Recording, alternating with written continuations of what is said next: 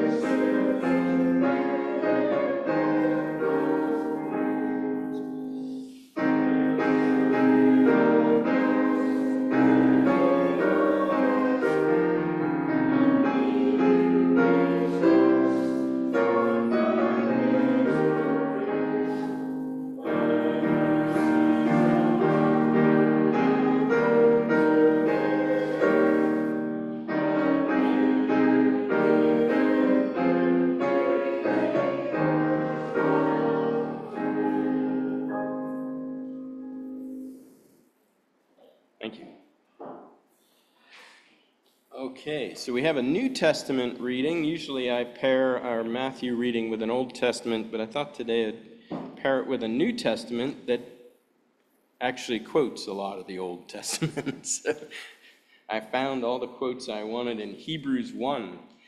The book of Hebrews is, again, another Christology, really a high Christology, focusing on the person and work of Jesus Christ.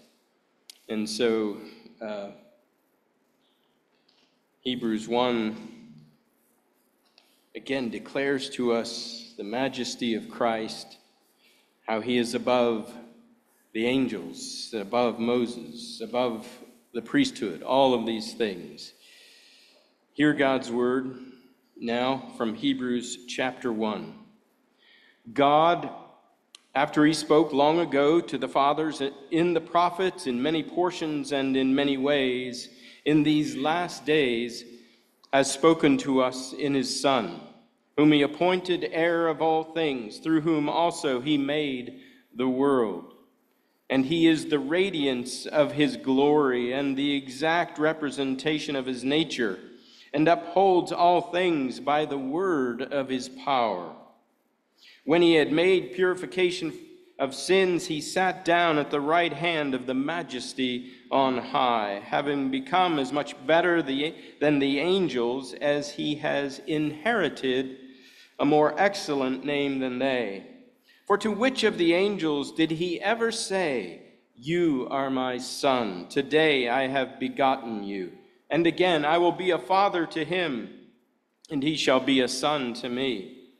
And when again, when he again brings the firstborn into the world, he says, And let all the angels of God worship him. And of the angels, he says, Who makes his angels winds and his ministers a flame of fire. But of the Son, he says, Your throne, O God, is forever and ever, and the righteous scepter is the scepter of his kingdom. You have loved righteousness and hated lawlessness. Therefore, God, your God, has anointed you with the oil of gladness above your companions. And you, O Lord, in the beginning laid the foundation of the earth, and the heavens are the works of your hands. They will perish, but you remain. And they will all, I'm sorry, they all will become old like a garment, and like a mantle you will roll them up. Like a garment, they will also be changed, but you are the same, and your years will not come to an end. But to which of the angels has he ever said, Sit at my right hand, until I make your enemies a footstool for your feet? Are they not all ministering spirits sent out to render service for the sake of those who will inherit salvation? Here ends the reading of God's word. We come now to our time of prayer. It is a prayer of forgiveness and the seeking of assurance of pardon. It is also intercessory. And so we will pray for those on our hearts and minds this morning. We have a list on the back of your bulletin as well. And we want to uphold one another in prayer and so our practice is that I give you a moment to pray silently. I'll then lead us in prayer. And uh, we're celebrating the supper today, so we'll not close with the Lord's Prayer. We'll do that after the supper. But let us pray.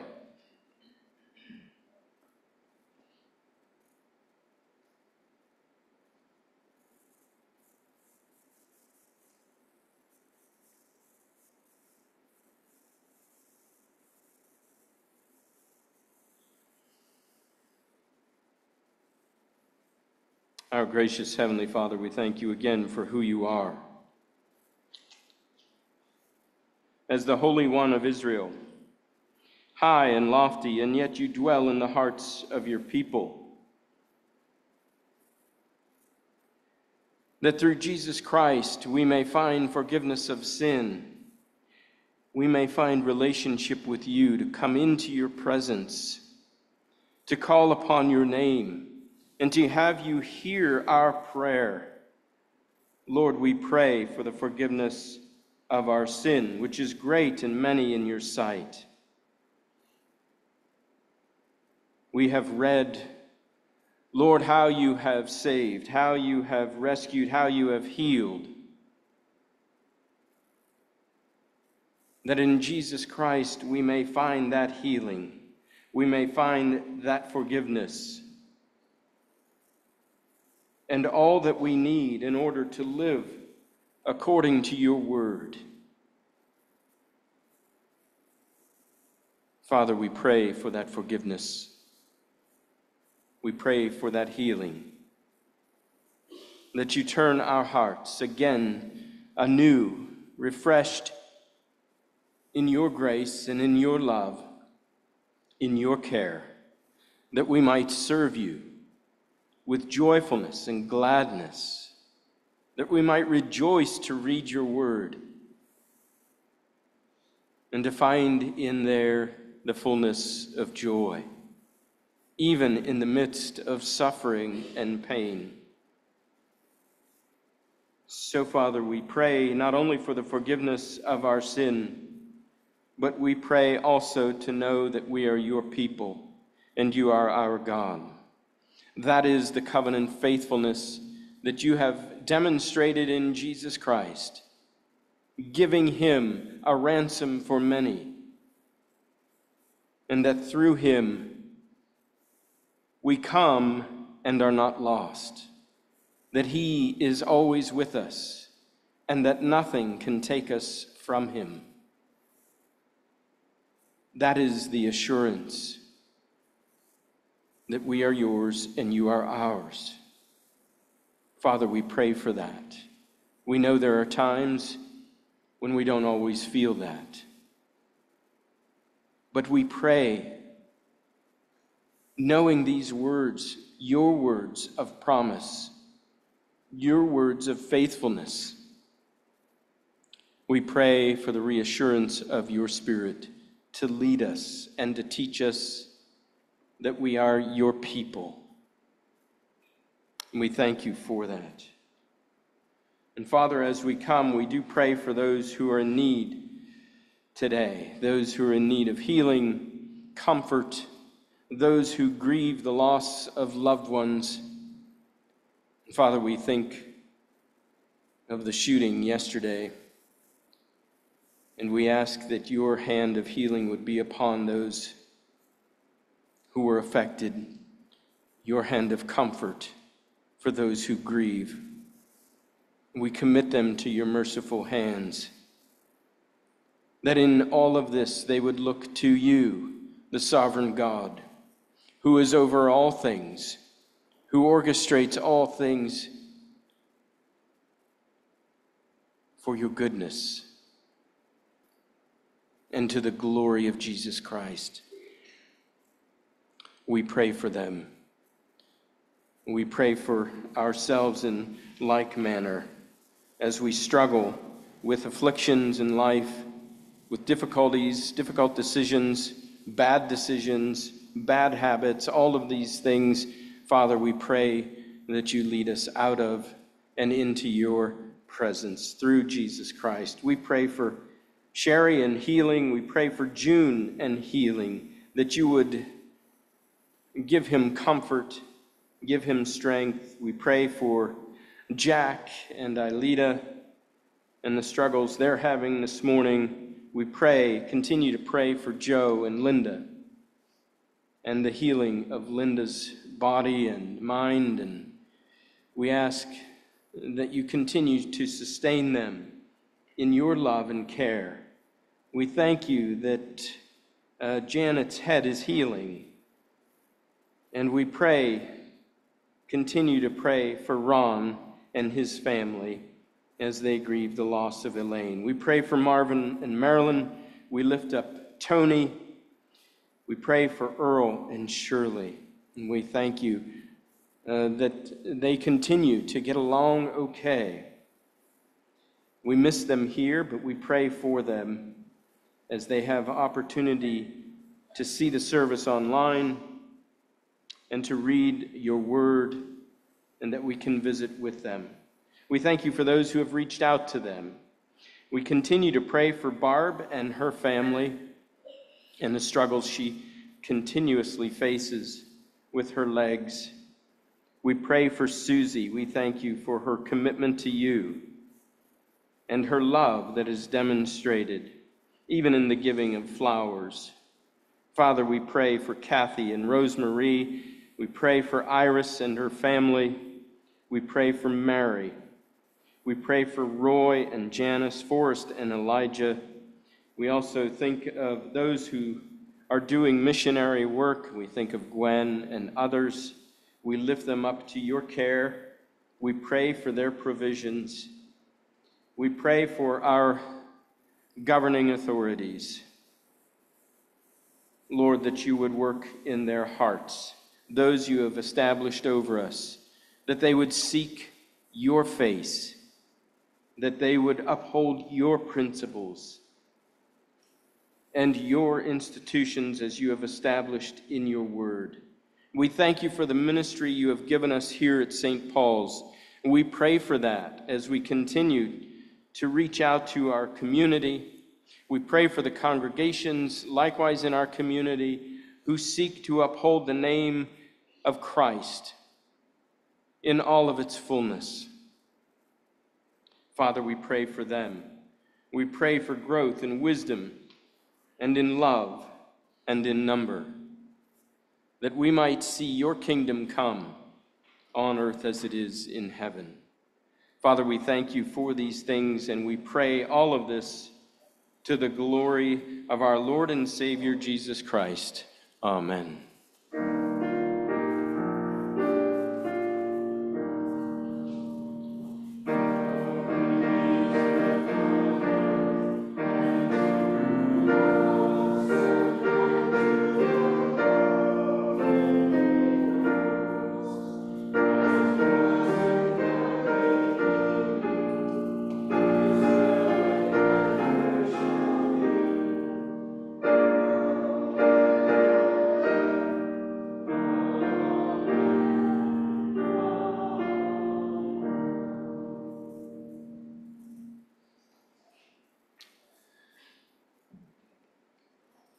Praise hymn is number 258 When I Survey the Wondrous Cross, words of Isaac Watts. Let's sing.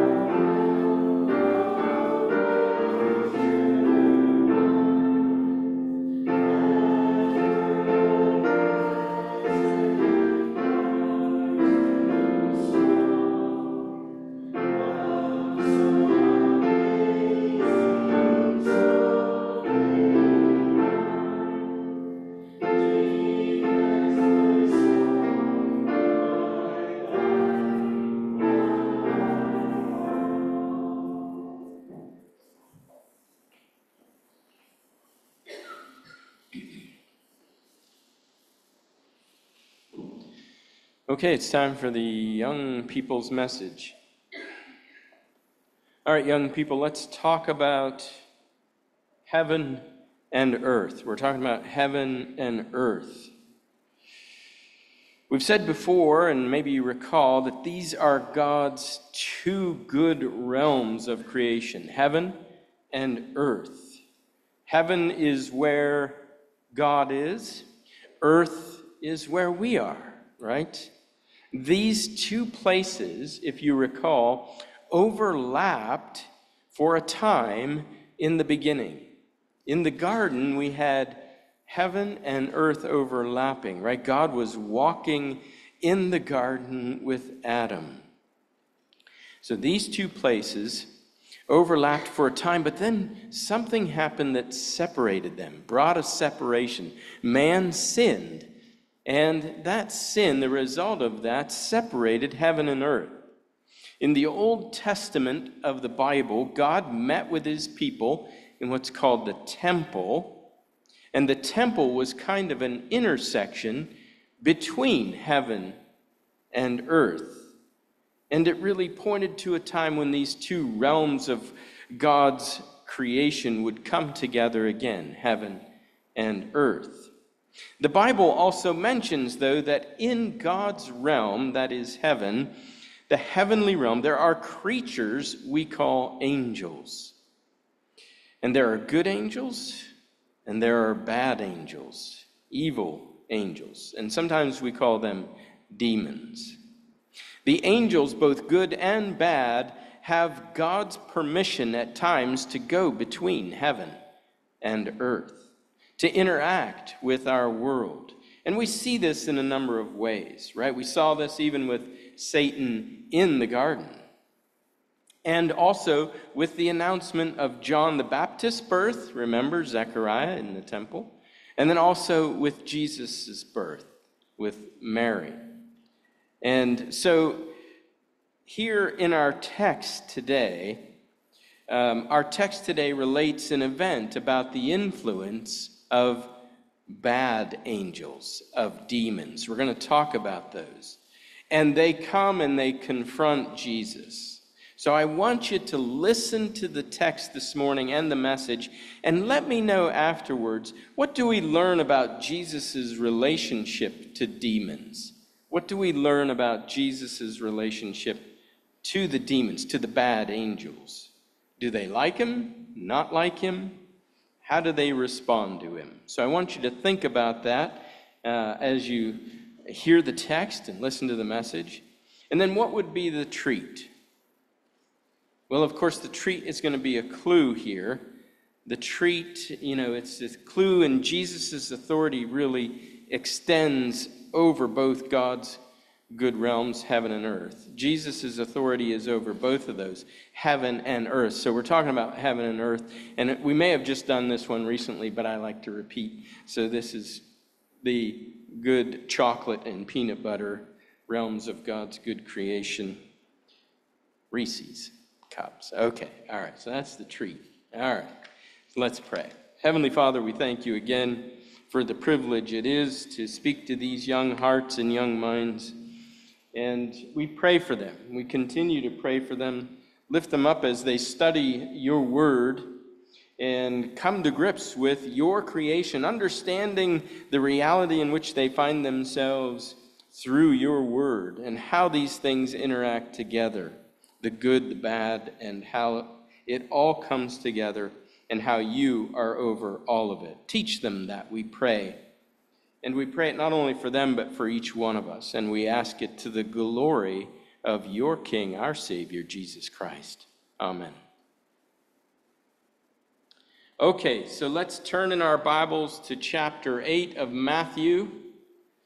Matthew chapter 8, and we're looking at verses 28 to 34 this morning, just a short passage.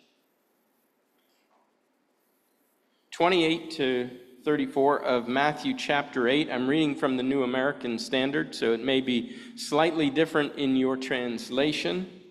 Uh, but we're going to talk about some of these words. Uh, nevertheless, if you have questions or concerns, you can ask me after, or you can save it for next Sunday. in the morning Bible study. We have a pretty good time talking about these things. So, uh, all right, let's read Matthew chapter 8, verses 28 to 34. When Jesus came, I'm sorry, I've messed up already. When he came, that is Jesus, he came to the other side into the country of the Gadarenes. Two men who were demon possessed met him as they were coming out of the tombs. They were so extremely violent that no one could pass by that way. And they cried out, saying, What business do we have with each other, Son of God? Have you come here to torment us before the time? Now there was a herd of many swine feeding at a distance from them. The demons began to entreat him, saying, If you are going to cast us out, send us into the herd of swine. And he said to them, Go. And they came out and went into the swine, and the whole herd rushed down the steep bank into the sea and perished in the waters. The herdsmen ran away and went to the city and reported everything, including what had happened to the demoniacs. And behold, the whole city came out to meet Jesus. And when they saw him, they implored him to leave their region. Here ends the reading of God's Word. Heavenly Father, we thank you again for the time we have to open and read your Word. We pray now that your Spirit lead us in its truth. Cause our hearts and minds to grow. For we ask to the glory of Christ. Amen. Change for the better is not always welcomed. The truth is not always embraced or even celebrated. As we look at our passage this morning, the one thing I want you to take away is this in his interaction with the demons, Matthew reveals Jesus' authority over the unseen world the response isn't always positive. But in his interaction with demons, Jesus' authority over the unseen world is revealed, and the response isn't always positive. So let's open with our context. I always like to start with context, so important. Matthew's gospel, we're in Matthew's gospel, obviously. It is a gospel of fulfillment. Matthew has that phrase of fulfilling the scriptures. He has told us that from the beginning, and he, and he works through his gospel this way. Uh, he has presented Jesus to us as the fulfillment of the Old Testament scriptures. And we have seen with the sermon, what we call the Sermon on the Mount, that first large teaching section in Matthew, that Jesus is teaching with authority. That's how it ends. They recognize that he is teaching with authority. And then we move, Matthew moves us into these demonstrations or acts of authority. But we do want to point out in chapter 4, Matthew did summarize for us Jesus' Galilean ministry, how everything was going great, healing all kinds of sickness, disease, pain, and even the demonized, or those under the influence of demons. We're told that in chapter 4, just a summary of it. And then after the teaching with authority, we find Jesus healing the leper with a touch, the centurion's servant with a word, and then Peter's mother in law again with a touch. And we're told how this fulfills Isaiah 53, verse 4. His authority uh, is connected to his carrying of our illnesses and our diseases. Last week we read about the cost of discipleship. We saw how uh, the scribe interacted, and then another disciple. We were told about uh, the fact that there's no rest, so it's a high cost of discipleship. And then there's also priorities. So we're told about these things, and last week we, uh, I'm sorry, I'm saying last week. I meant last time I was with you, not with Keith. Um, so the last time we read about his power, we concluded with the power of Jesus over nature itself, how he commanded uh, the winds and the sea. And the disciples, we left off with the question what kind of man is this that even the winds and the sea obey him? And this is where we pick up with the narrative today. It says, And when he came to the other side into the country of the Gadarenes, there are a number of questions here as we start to look at the text. I'm going to take the text a couple verses or a verse at a time, and we look at this. Uh, there are a couple questions right from the start. We see that Jesus is looking to escape the crowds right? He's looking to escape the crowds. The crowds are coming to him. He's been healing and doing all this great stuff, and the crowds have come and he calls his disciples into a boat to go to the other side. And when he came to the other side, into the country of the Gadarenes, two demon possessed men were told, confront him as they're coming out of the tombs. So, looking to escape the crowd, Jesus and his disciples reach the other side and uh, some commentators point out the differences between Matthew and Mark and Luke, the place where, where this is taking place, whether it's the Gadarenes or Gerasenes. Is it Gadara? Is it Gersa? What town is this actually taking place in? But we're not told a specific place. We're told it is the country of or the region of.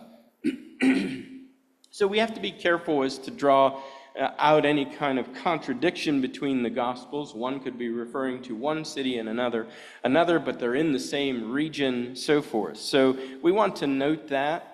Um, the other thing is that there are two men with Matthew and only one uh, with Mark.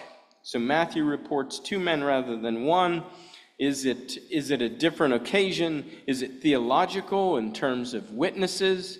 Uh, two witnesses. You know, the Bible talks about having two witnesses. Is this what Matthew's doing? It's very difficult to say. Um, or could there have been actually two, and Mark only focuses on one?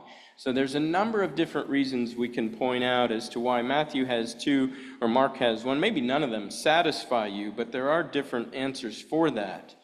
Uh, nevertheless, it can be explained. So looking for um, rest from the crowds. Jesus has gone to the other side. We know the incident in the boat uh, as he traveled over to the other side, and the question we're left with seeking that rest. Here they finally get to the other side, and what happens? Well, he's confronted by these two men uh, that are in the New American Standard that I read it says demon possessed. And perhaps it says demon possessed in your translation as well.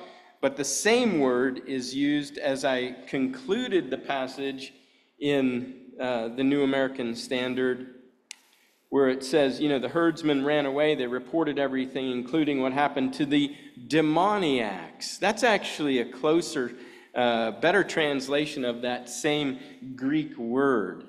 In other words, um, as uh, the, the Greek word, if you're not familiar with it, I'll just pronounce it daimonidzomai, daimonidzomai. That's the Greek word for that, but we translate it in many of the translations have demon possessed, but per, perhaps a better translation would be demonized or under the influence of a demon uh, Wayne Grudem notes that the New Testament Greek never uses the language that people are possessed. Use that word possessed. Uh, that's not in the Greek. As I said, there's just one word here that's being translated. That's daimonidzomai. And so, however you want to translate it, they are under the influence of demons. And so, The scriptures here, New Testament especially, speak of various degrees of that demonic influence. Demons are fallen angels who follow Satan, the devil, who is the chief of the fallen angels. And they are creatures. I want to remind you, these are creatures having set themselves against God, their creator, and they cannot escape his power or authority over them. Okay? So there are various levels or stages of demonic activity throughout redemptive history, but not much is said in the Old Testament with respect to exorcisms, to casting out demons. There is one passage that is interesting, and maybe you recall it, but do you remember when David would play the harp for Saul? You see, Saul would be vexed, and it was said that David would play the harp and the demons would leave Saul alone. So there is that kind of uh, interesting perspective there in 1 Samuel 16 23 as David played the harp. It seems, though, to reach this demonic kind of influence seems to reach a climax, though, in the New Testament with the coming of the Messiah. And rightly so. Uh, I'm just thinking when I say rightly so that it is part of God's rule or kingship breaking into the world of darkness. And that raises this activity. The scriptures clearly teach that Satan and all the fallen angels can do only what God permits. We see this most clearly in the book of Job, don't we? Satan asks uh, to test Job, and God permits. But there's not much focus on Satan in that whole event. In fact, we only hear in the first chapters, the rest of it is left to go. So, um, the other thing is, as we look at this, here are these uh, de- demoniacs or demon influenced men who come out of the tombs. Everything about this passage speaks to us uh, about the uncleanness of the situation. They are in Gentile territory. They're in the tombs where the dead are buried. And out come the, these two men under, significantly under the influence of uh, the demons, so much so that no one passes that way because of the violence that is taking place because of them. Extremely violent. Violence, chaos are all characteristics of evil and demonic activity. So, that's the setting we come to. Jesus is not going to find rest here, although he was seeking it from the crowds. He is not going to find it. The two men confront him. And what we see here now is a conversation that takes place between Jesus and these two men. And it's not so much the men who are speaking, but the demons speaking through them. So in verse 29, and they cried out, saying, What business do you have with us, Son of God? Have you come here to torment us before the time? There's a couple interesting things here in this verse. Jesus' disciples just asked the question, What kind of man is this that the winds and the sea obey him? And perhaps it is Matthew placing that question in the mouths of the disciples that he wants his readers to be asking as well. And here we have the demons recognizing Jesus of Nazareth as the Son of God, the Messiah, the son of Psalm 2. So now we have the demons. The conversation seems to be between Jesus and the demons speaking through the ten the two men, recognizing Jesus as the Son of God. Jesus had earlier referred to himself as the Son of Man. Jesus refers to himself as the Son of Man, but here the demons recognize him as Son of God. Of course, Satan tested the loyalty of Jesus' sonship back in chapter 4 in the wilderness. But here, one of the most interesting phrases we, we find is have you come here to torment us before the time? This is what the demons are asking. But where is here? Have you come here? Where is here that they're talking about? Is it the territory that they've come to in the Decapolis, this Gentile territory? That's one question. D.A. Carson notes that demonic activity wasn't simply limited to the Gentile territories. So, what are they talking about here? Have you come here? Could it be more in line with earth that you have come, Son of God, to earth, to this realm, to where we are able to trouble uh, the human beings? Have you come here to earth to torment us before the time? Well, what is before the time? What does that suggest? Well, I think it suggests that the demons have a limited time period for their activity. Jesus' coming now signals the beginning of the end of their activity. Have you come here to torment us before the time? But it also suggests a couple other things. The messianic role is to judge the world in righteousness, including and condemning the fallen angels. This is the idea. Have you come here to torment us before the time? There is an appointed time. This is what we may be getting a glimpse of. Just like um, you have a dark room and you flip the light on and you see it and the light flips off again, you get a flash of what's going on in the room. Here is a picture, a flash of the messianic role from an eschatological perspective, from an unseen world perspective. Have you come here to torment us before the time? We'll see more on this topic as uh, we go through Matthew's gospel, but this is just a glimpse. And then we come to verses 30 and 31. Now, there was a herd of many pigs feeding at a distance from them. Uh, of course, the pigs, too, right, suggest, and I think when I read from the New American, it said swine, pigs, swine, but that also suggests this is not a Jewish place. This would not be a Jewish place. These are Gentiles, and they have pigs, a herd of swine, and they're feeding at a distance from them. And the demons, then, now we're told the demons begged, implored, what was the uh, word I used earlier? What does your text have, perhaps? But it says here the demons began to entreat him. But the word is begged, implored. They begged him, saying, If you are going to cast us out, send us into the herd of pigs.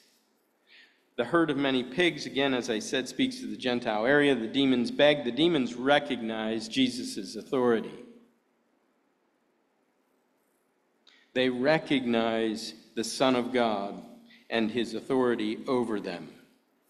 So here is a picture Matthew is presenting. We had not only Jesus' authority over disease and illness and pain, so much that he could touch a leper, he could speak for the centurion's servant to be healed from a distance, and touch Peter's mother in law. Then we see him command nature, the winds and the sea obey him. Now we take it to another level where Jesus' authority is demonstrated over the unseen world. This is not only authority in, in earth, but also in heaven over the spirits the demons begged him. If you're going to cast us out, send us into the per- herd of pigs. Why? They recognize that they are at his will. And why do they want to be sent into the herd of pigs? Is it that the demons do not like to be without a home? Could that be it? Is it just another way of wreaking havoc? Whether it is on God's animals or whether it is bringing uh, a bad reputation to Jesus by destroying the economic value of this Gentile area with the herd. And Jesus said to them, There's no incantation here in terms of exorcism. Jesus simply says, Go. And they came out and they went into the pigs. And behold, the whole herd rushed down the steep bank into the sea and drowned in the waters. Jesus gives a one word response Go or depart. That's it. And the demons go. They obey. And the whole herd, now this is odd. If you're thinking, well, maybe they wanted to go into another home, and they go into the pigs, and then what do they do? Drive the pigs down the, the bank into the sea to kill them, and now they're left without a home again. It's kind of odd to think that that was their purpose. But the pigs die, not the demons. Although one commentator tries to make a case for the, the, the fact that the pigs go into the sea and drowned, but this is Jesus' way of also condemning the spirits to their eternal home. Uh, nothing in the text really says that. I think that's uh, not there, but the, just that the herd, the drowning is reference to the herd dying. We don't know where the spirit, spiritual beings, these demons, go. But what was the purpose of that? Is it simply, could it simply be the visible proof of casting out these demons? Going from these two under the influence of the demoniac to the pigs. And that's visible. So that the people could see his authority over the unseen world. Pigs are at a distance. The pigs rush down, not because of the demoniacs, any kind of problem with them, but they're at a distance. So, you know, what drives them into the sea? I think this is what is being said. Matthew is drawing this out. In verse 33, then, and the herdsmen ran away. The herdsmen ran away, went to the city, and reported everything, including what had happened to the demon possessed men or the demoniacs or the men under the influence of these demons. They reported everything to the city. So they tell the city what took place, not just about losing the herd, but also the men. Was there noticeable change in the men? Could that have been there? Could that have been part of the story? We're not told. What is the response of the city? With Jesus, there is always a response. It may not always be recorded for us. What is the response of the men? Well, we're not told. We are told in Mark, if it is the same uh, account, we are told what happens to the one man. We're not told here, but we are told about the city. Behold, the whole city came out to meet Jesus.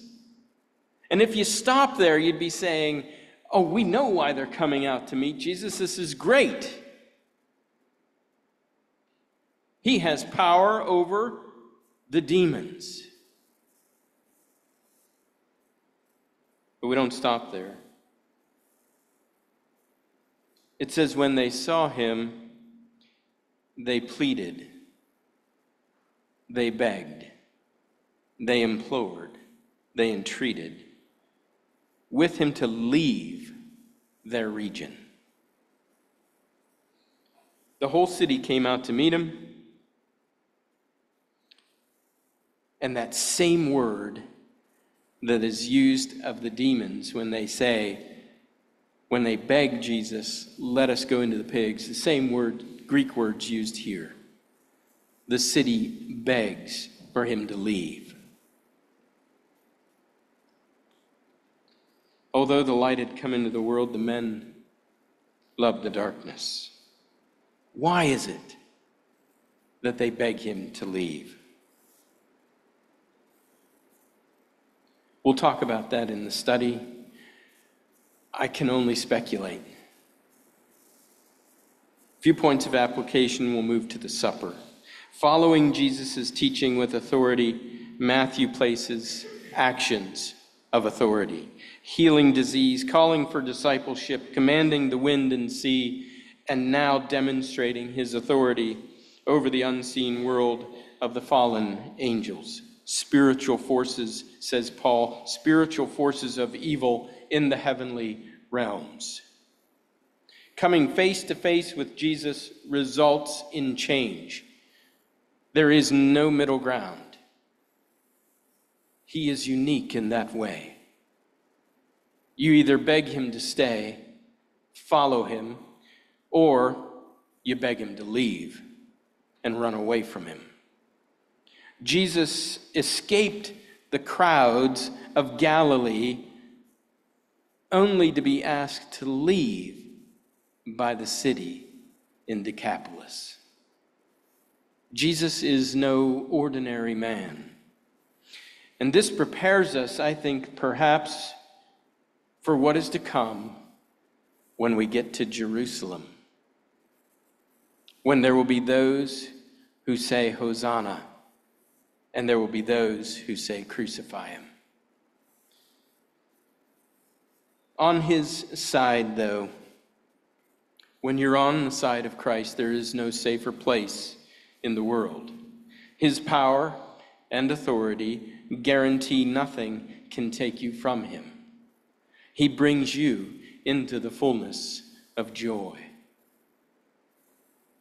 In his interaction with the demons, Jesus' authority over the unseen world is revealed.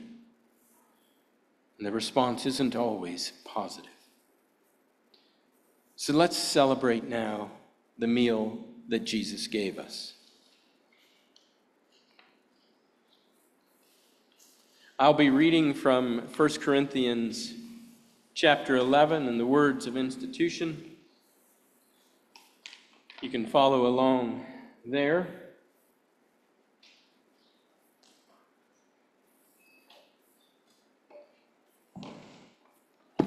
But this meal is an invitation for all who call upon the name of Christ, who follow him, baptized. This meal is for you, and it is a picture of what Jesus accomplished in bringing his people together in an organic way by dying for them on the cross. And this meal is primarily a memorial. We do this in remembrance of him. For I received from the Lord that which I also delivered to you that the Lord Jesus, in the night in which he was betrayed, took bread. And when he had given thanks, he broke it and said, This is my body, which is for you. Do this in remembrance of me. Let's pray and then we'll distribute the bread.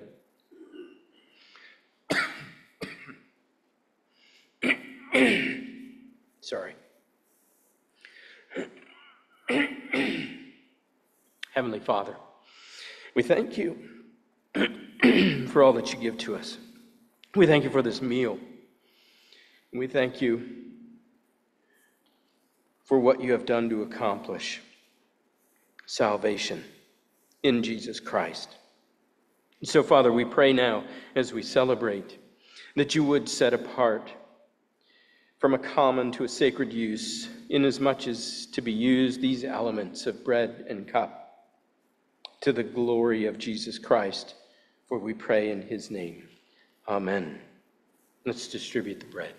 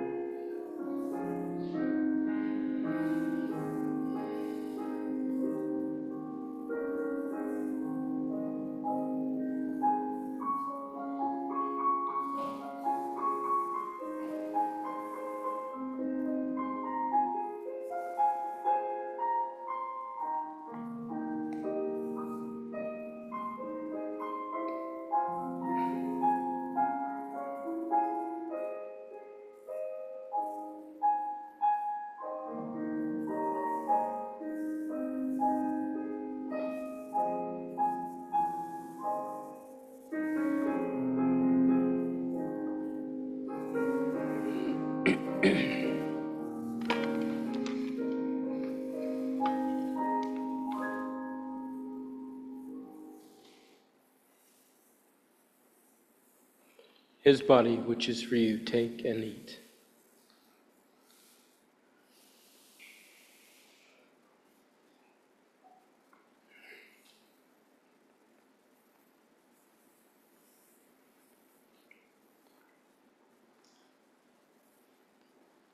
In the same way, he took the cup, also after supper, saying, This cup is the new covenant in my blood. Do this as often as you drink it in remembrance of me. Let's distribute the cup.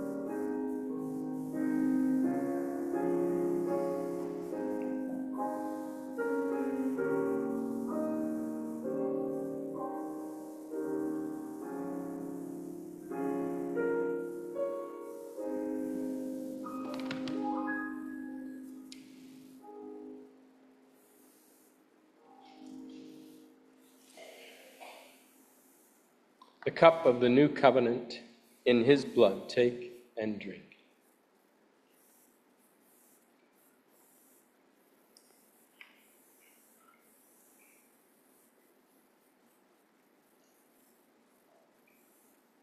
For as often as you eat this bread and drink the cup, you proclaim the Lord's death until he comes.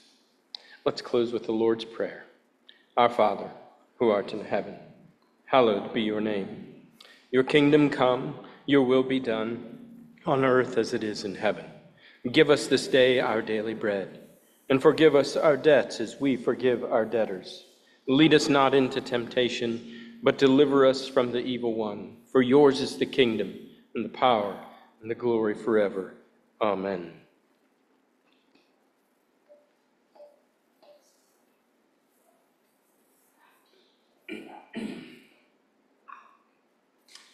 Our closing hymn is Martin Luther's A Mighty Fortress is Our God.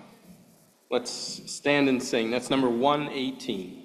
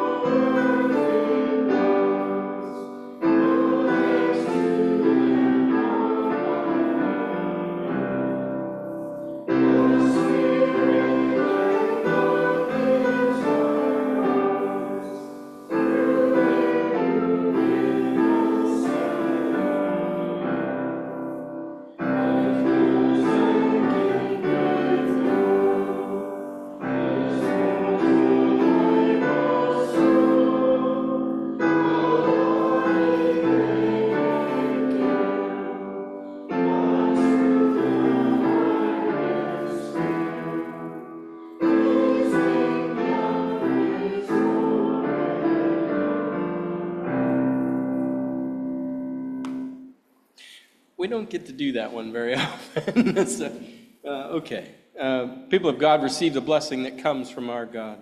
May the love of God, the grace of our Lord and Savior Jesus Christ, and the ever-abiding presence of his Holy Spirit be with you now and always. Amen.